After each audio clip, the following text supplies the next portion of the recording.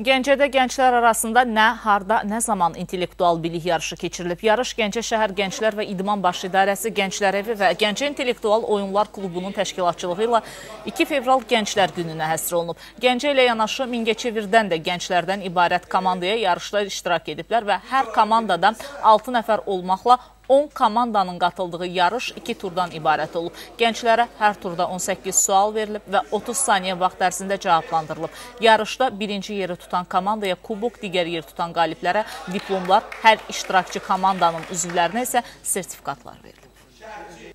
Nə harada, nə zaman oyunun, e, yəni o birisi belə deyək, bilik yarışlarından fərqi ondadır ki, burada ümumi mövzu yoxdur. Burada yenə deyirəm, uşaqların biliyi, dünya görüşü, e, belə deyək, e, biraz tez fikirləşməkləri önəmlidir və suallar da hər bir mövzuda tərtib olunur.